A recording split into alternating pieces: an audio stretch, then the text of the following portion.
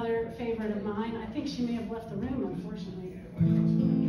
This is uh, Lisa Jeanette's song, uh, inspired by one of my favorite songwriters, uh, Miss Dolly Parton. But Lisa has this amazing thing she does to it. So, uh, Let's wait for it.